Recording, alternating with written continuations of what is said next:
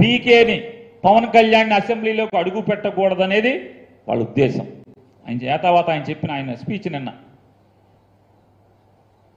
ఏంటి అంటే అసలు రెండు వేల పంతొమ్మిది ఎన్నికల్లో భీమవరంలో ఉన్నటువంటి ఓటర్ లిస్టు రెండు లక్షల నలభై ఆరు వేల మూడు వందల నలభై ఆరు నలభై రెండు ఓట్లు. భీమవరంలో ఉన్నటువంటి ఓట్లు రెండు లక్షల నలభై ఆరు వేల మూడు వందల నలభై రెండు. దానిలో పురుషులు లక్ష ఇరవై వేల ఐదు వందల డెబ్బై ఆరు. దానిలో మహిళలు లక్ష ఇరవై ఐదు వేల ఆరు వందల అరవై రెండు. అటు ఇటు కాని వారు నూట నాలుగు.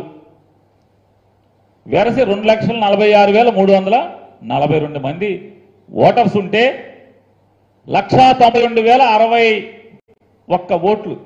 ఒక లక్ష తొంభై రెండు వేల అరవై ఒక్క ఓట్లు పోలైతే గ్రంథిశీలం. గుర్తున్నాడా? పవన్ కళ్యాణ్ గారు. గ్రంథి సీను.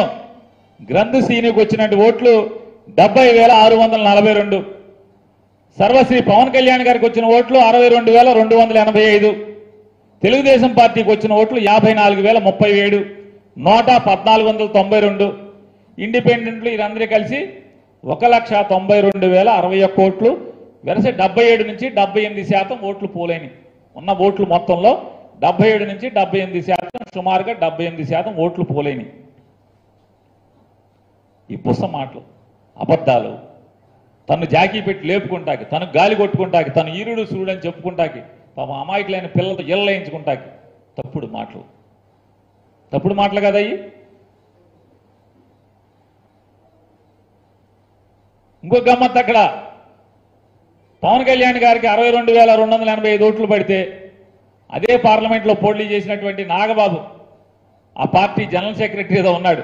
ఆయనకు వచ్చిన ఓట్లు యాభై వేల అరవై ఏడు ఓట్లు. పవన్ కళ్యాణ్ గారికి వచ్చిన ఓట్లు కూడా ఆయనకి వేయలేదు.